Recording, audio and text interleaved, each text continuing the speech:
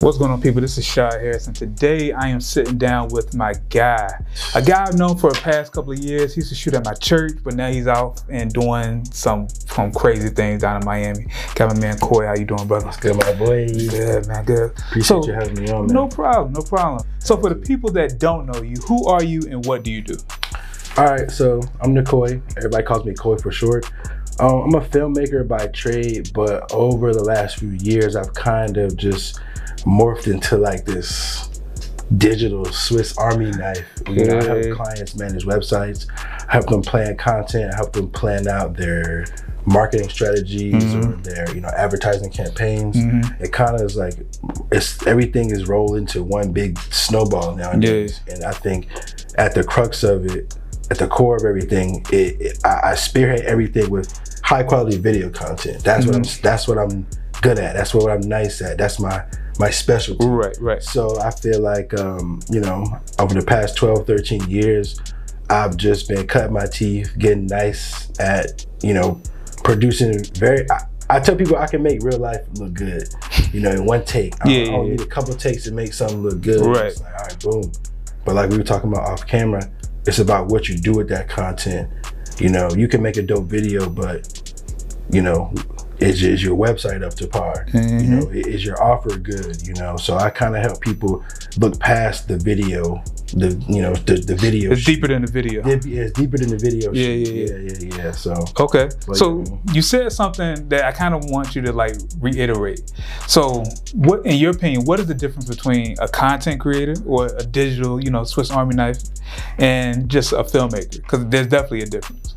Okay, yeah. So I can speak from both sides because I started out at just being a filmmaker. So I think a filmmaker is just one a person that's gonna pull up, shoot, edit it, you know, what you need and call it a mm-hmm. day. Right. But I think, you know, being that being that Swiss Army knife is like, all right, I, I'm I'm automatically focused on your end goal. So it's going to cause me to produce the content a, a little bit differently. Mm-hmm. Like, okay, what what's your goal to oh get more sales? You need to get more leads, or oh you got to get more people coming to your website. All right, mm-hmm. well let's do this and let's shoot some of this or let's do that. You know, it, it's about. I think you're more result driven. Right. Right. Just you know creating Just to just creating a, a Yeah. dope video. dope video. Yeah, Yeah, yeah, more about what this what is this video gonna do for you versus oh I just made you look sweet. Right. Right. Right. Right. Right. Because I've even nowadays looking people everybody looks sweet online now.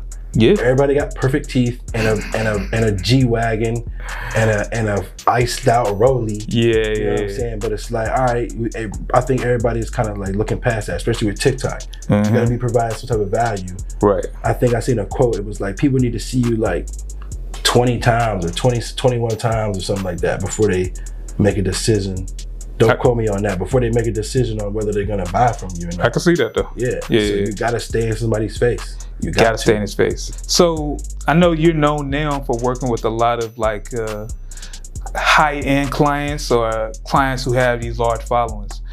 For the creators out there, how did you go about getting those clients? Like, do you pitch? Do they come to you? Like, what's the Um, it's a little bit of both. Um, once you kind of like get on that radar or that certain level, you know, people like people talk, and you know, people with bigger followings, everybody, everybody's looking on their their page has a lot of engagement and traffic. So, especially if they tagging you and they're you know giving you credit, you know, that's how the that's how certain leads come through. Mm-hmm. But for certain cases, yeah, you do got to pitch. You do have to really, you know, hop on the phone with a person and maybe create a little deck, kind of so that mm-hmm. so that way they know what it is that you're capable of. Because we talking about people spending thousands of dollars for you to come do what you do.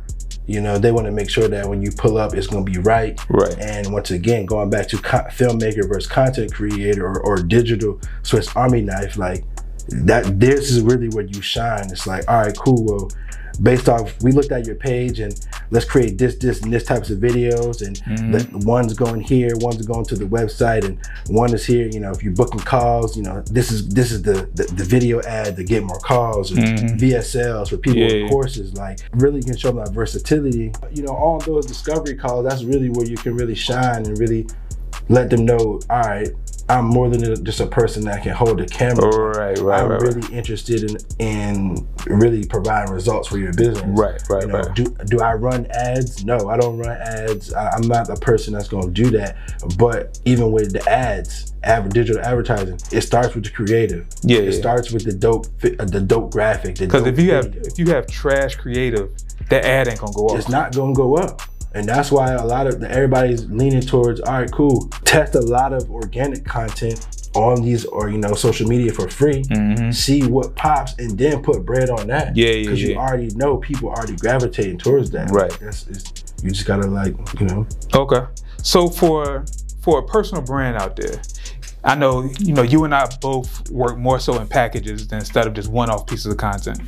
Um, so for a personal brand, what are the pieces of content that you feel like is necessary to kind of you know fill out that brand for social media or you know whatever the case may be? Well, well, it's definitely started by saying every brand or business is different. Right. But at the core, you know, you need to let people know what it is you do and what you offering, and also just start providing value. Little nuggets on a little hack or how to save time or how to save energy or how to do something quicker or a different way. Start providing value that way, so that way when it is come time for you to pop out with an offer and make somebody pay for something, Mm-hmm. it's like, well, dang, they've already provided so much free value for me. Let me let me see what they got going on. Yeah, yeah, yeah. It's like, all right. Then we talking about monetizing your, you know, your audience or Right. your community. But yeah, just start by providing as much value as you can without giving away your paid sauce. Yeah, yeah, yeah. And working with us on our discovery calls, that's what we do. We, we we go through your products and services, and we have different frameworks already built out to where we can, I can create 30 video concepts for you right now. You know, it's hella websites and Mhm. you know different things out there now to where it's like, all right, I got all the topics. We just need to press record. Right. So like, what you scared for now? It's like like there's too many. It's getting too easy. Yeah, yeah, You know, but even that, you know, everybody, it ain't, you know, creating and filming and shooting isn't for everybody. So, True, you know, that's true. what it hit us up. But Right. Because I feel like, because when I actually work with clients, I usually try to tell them, like, all right, so you're going to need some photos because you're probably your old photos are trash. You're going to need some some lifestyle content because people more so care about your lifestyle but you also need some stuff that's showing people that you actually do what you say that you can do yeah, um, and then outside of that, you need like a commercial, you need ads, you need, you know, joints where you're just giving out pure value. For me, like that's what like kind of like the formula for, you know, when you come up with packages. So from your opinion, I know you talked about a lot about, you know, videos going up. What do you feel makes for a viral video, a video that you kind of, what are some of the, the nuances of what you feel like makes for a video to go up? based off what I learned, it's a combination of a couple things. It's a good hook, a good intro, like qualify who you talking to. Like if you a hot dog maker, listen to them teach you how to make 30 million hot dogs in 20 minutes. Like Right. hot dog makers might, oh, okay, they Yeah, yeah, jump yeah. for that. Right, right, right. So a good hook in the beginning and then being clear and concise on the message. Like even as an editor, we cut out we cut out the fat or I cut out, you know, things that's reiterated twice. So once again, good hook, good message, and then maybe some, you know, if you're trying to traffic your audience somewhere, good call to action. Mm-hmm. Hey, if you like this, you know, click the link below or hit, hit the link in my bio to book a call. Or if you want to learn more, subscribe below or, you know, Yeah, share yeah, this to one person, you know, just kind of like, you know, call a call to action at the end. Tell them to do something at the end. So that way you're getting something out of it too versus people just liking it and asking you, well, well, where's the link? Or like, because people are crazy. Yeah, yeah, yeah. Oh, well, one last bonus tip too. Uh-huh. I shoot TV shows too, so when you write in TV shows, you'll be surprised to know that I think is they write TV shows for sixth or fifth grade reading levels. So dumb it down a little bit too. Like everything ain't gotta be oh uh you know four or five six syllable words. Like, Yeah, yeah. nah, like when you writing this, write it like you explaining to your little niece or your little nephew, Right, that right. they can understand it. And I feel like it will, you know, Go- reach, go- you know, the masses will be able to understand it a little bit better. True, true, Yeah. true. What is something that you feel like content creators who are just trying to get into not necessarily luxury space, but maybe the personal brand space, or more so filmmakers who get into like more so content creation, what do you feel is a thing that they you see a lot of people mess up on? For me, why you why you think your answer? For me is I feel like a lot of people don't package up content, um, or they don't package up services, and they don't charge the right way.